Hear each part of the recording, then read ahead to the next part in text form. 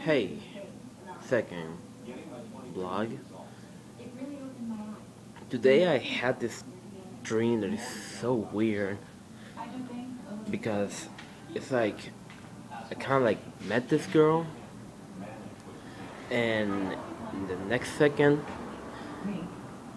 I'm about to have sex with her which is I guess normal for all the dreams that I already had, but the thing is, it's like I already knew this girl for a long time. You know what's the problem with all my dreams and all my wet dreams that I always had? I never had sex with a girl because I always faced the real problems. What happened back to this dream is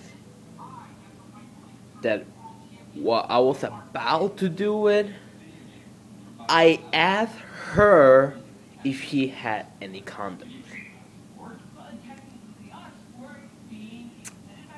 She didn't have any condoms. So I was so I was acting all reckless, good idea, and say, "Hey, buddy, what if I go out, run really, really, really, really fast, and buy some condoms. And she said, again, I repeat this, it's a dream. And she said, okay, just be cut, just be back real quick, or else there won't be any more condoms. That makes sense, okay? So I run, run really fast, and my alarm clock just woke me up and that's one of the main reasons why I can never have sex with any girl in my own dreams. Also for the fact that I already have a girlfriend.